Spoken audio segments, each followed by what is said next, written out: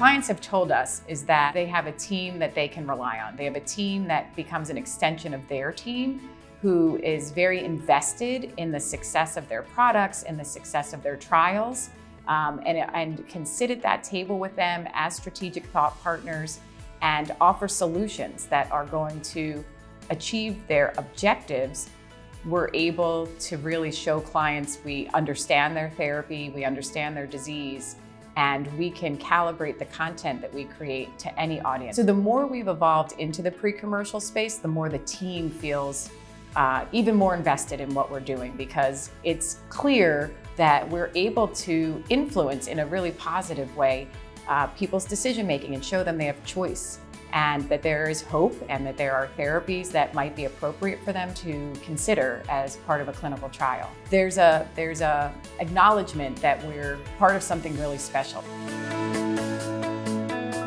If you'd like to know more, let's talk. Go to curtislearning.com and select Get in Touch to start the conversation. We look forward to talking with you.